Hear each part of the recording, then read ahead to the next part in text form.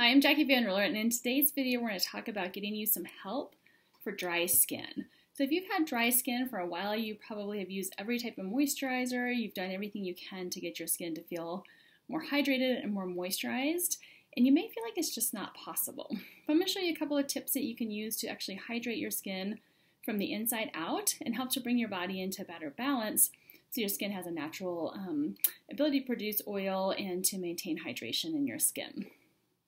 As always, we're going to start with our gua sha techniques on our chest and our neck. And these are really going to help to um, release those fascial adhesions. And what happens when your fascia gets stuck together is it doesn't hold on to moisture very well. So actually releasing some of those adhesions is going to allow that fascia to hold on to moisture.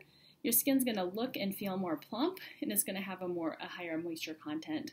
So it just feels better in general. So we're going to start again always underneath the clavicle. It's doing that nice support, that nice pulling there.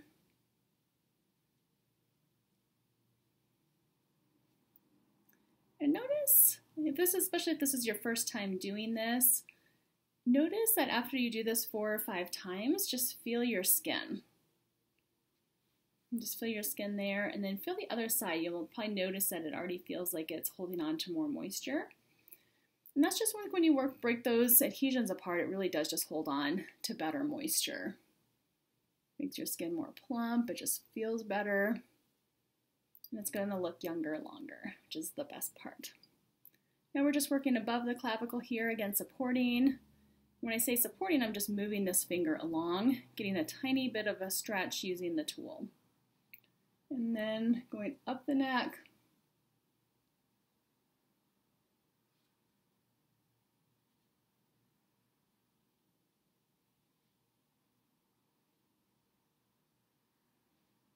and behind the neck.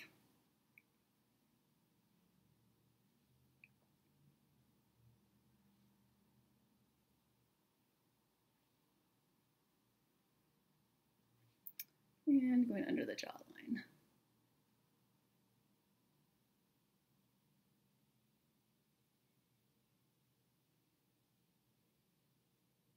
What you can really do to improve your um, moisture of your skin too is to really make sure that that lymph is moving well.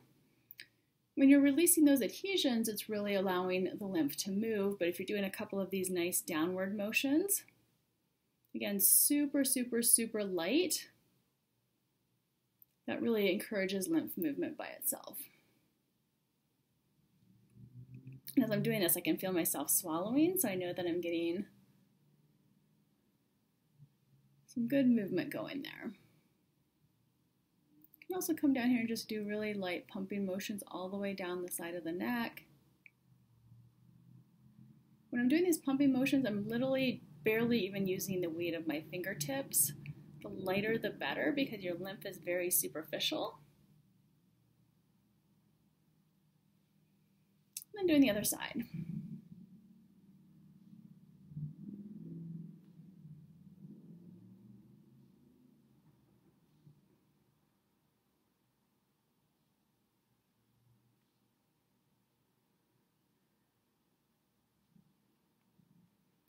Going above the clavicle. This is really important because all of your lymph drains into this area here. So just keeping that nice and open and flowing is going to be really helpful to improving your skin, giving you that natural glow, removing toxins under and between your skin cells, up the neck. And just supporting as you're doing this.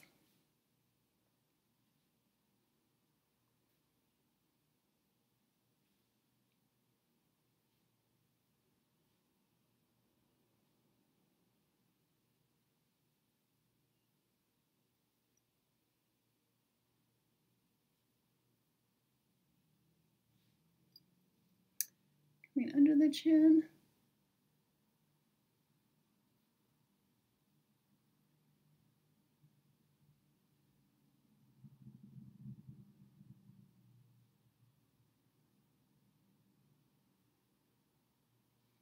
I would just like to finish up by going in front of the neck here and just coming all the way up over the chin.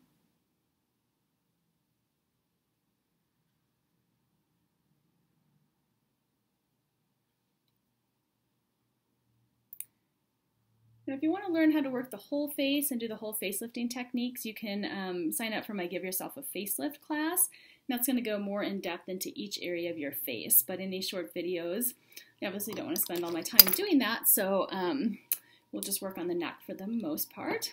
So now I'm going to put just a couple of drops of facial oil on my skin. Now I'm going to talk a little bit about products in dry skin because we oftentimes think that using the right product is going to help us to have um, to have more moisturized skin, and that really actually isn't the case.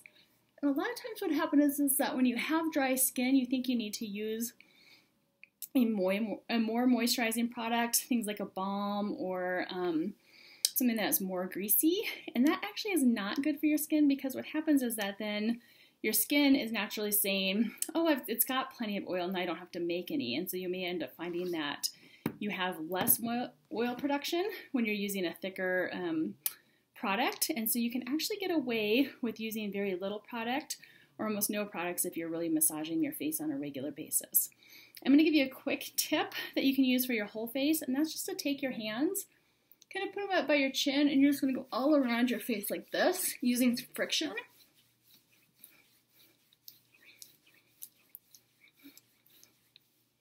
And you can do that about 30 times a day. That's really going to help to break up some of those fascial adhesions in your skin give you a lift to it and increase blood flow and um, lymphatic drainage as well. But we'll get into our facial reflexology routine here. I'm just going to pull this up on my computer so I can see it. And on here, we're going to start with these points right here on the side of our nose. This is point 61, and it helps to release endorphins. It helps to activate our lungs. Our lungs are so important in moisturizing our skin because it's what actually sends moisture throughout the body. This also opens up your nasal passageways so you're getting more oxygen into your lungs. So it really supports your lungs in that way. Next, we're going to come to our right hand side and work directly under the nose and directly under the eye. This is a point for the liver. The liver determines where energy goes in your body. And so the liver, we want the liver to equally distribute energy to all the organs of our body. And in this case, we want it to be into our lungs. Right above, right next to the liver point is the gallbladder point, 41. And that is going to help with fat metabolism. So we definitely want that in oil production. And then we're going to go up a little above to point 3, which is the lung point on the right hand side. We don't want to overactivate this point because this point is going to help with um, more oily skin, and we want to work more on the left hand side because the left hand side of the lungs is really going to increase the um, oil production or more moisturizing in our skin. So coming over to the left side, we're going to get point 0.39 here. This point has to do with the stomach, and when we think about energy that goes to the lungs, it starts in the stomach with it breaking down food. And then the next point we're going to do, point 37 for the spleen. The spleen actually takes those nutrients and that energy from the stomach and then uses, um, lifts that up to the lungs so that then the lungs have plenty of nutrients and energy. So we're at point three now for just moisturizing, hydrating the lungs, hydrating the skin, and the entire body. Next, we're going to do points 38 and 17, which are right in this area. If you're pregnant, we're just going to avoid this whole upper lip. Um, but if you're not pregnant, you can just go ahead and work this whole area here. Point 38 helps to moisturize and lubricate your joints, your bowels, and your skin. And then point 17 is an anti-inflammatory point that helps to decrease stress hormones. Stress hormones are active in our body. It can make our skin more dry. So these two points together are really great for decreasing inflammation.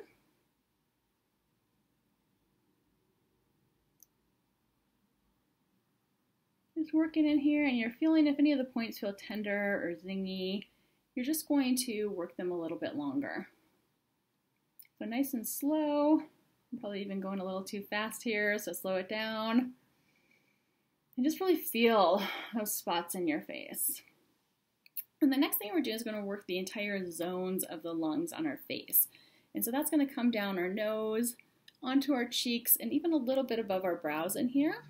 And doing that is really just going to help to send energy and good love and vibes to um, our lungs. So we can start on our nose, which is going to be kind of our airway. It's going to represent our airway. And what we're going to do is I'm on the right side now. I'm going to move a little bit more quickly on the right side because as we talked about before, the right side is going to be more about controlling oil production.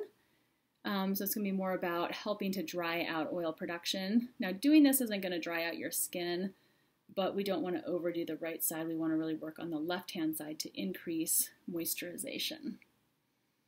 So I'm working around the eyes. I'm just going to give a little support here. You're just doing this like you're coloring in you know, like in a coloring book, like you're just going to color in an entire area. But if you feel a spot that feels particularly stuck or zingy, like I'm feeling it here, I'm going to work that a little bit longer. On another point right here, so I'm just going to help to work that a little bit longer.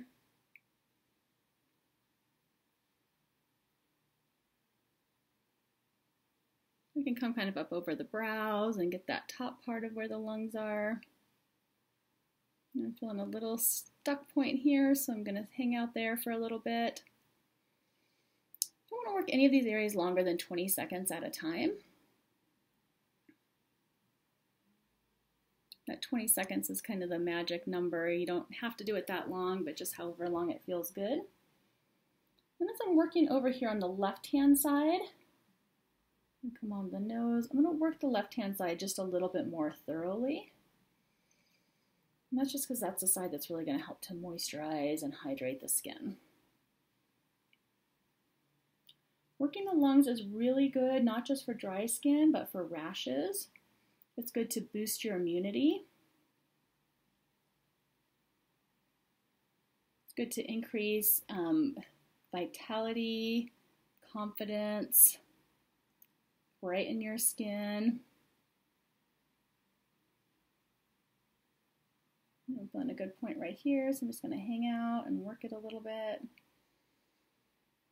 Okay if you don't know what each point is related to, just kind of feel it and just go, oh, yeah, I'm kind of stuck there, or that feels a little tender, or that feels a little zingy. I'm just going to hang out in that area.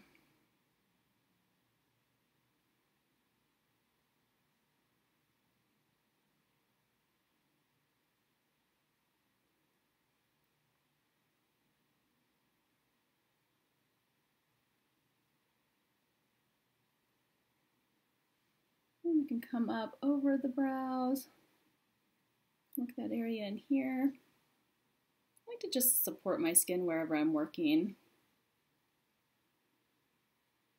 Definitely feeling some good spots right in here, so I'm just to stay there a little bit longer. Right there feels zingy. And you'll find that as you're doing this work longer and longer, you'll either A, start to feel those spots more, or you may find that a lot of the spots or the zingy spots or the lumps and bumps actually kind of fade away, and so then you're just able to feel the ones that are still there or that uh, pop up. So once you finish the whole lung zone, then what you're gonna do is just go back to the areas that you that are dry on your skin. So for me, I used to get a ton of dry skin like right in here. So now that I've been doing all this massage work for quite a while, I really don't get that anymore. And this area here can be related to the large intestine, and so it can have to do with having some dryness in your intestines. But any area that's dry, you can just work that a little bit more with your detector.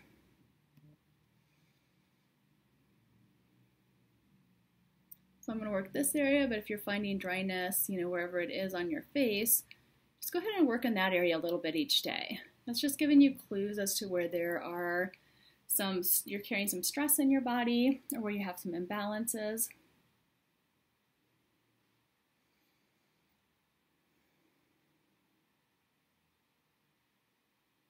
I'm just gonna work this, and I just love working the chin anyway, because the chin really has to do with a lot with reducing tension, warming up your hands and feet.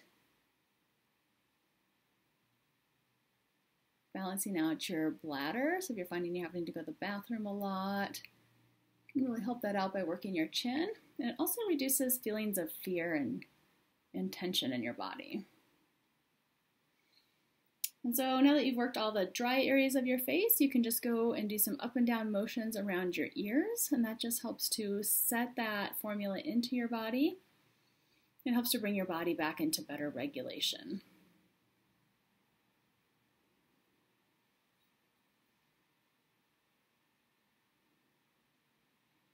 Just up and down in front of the ears.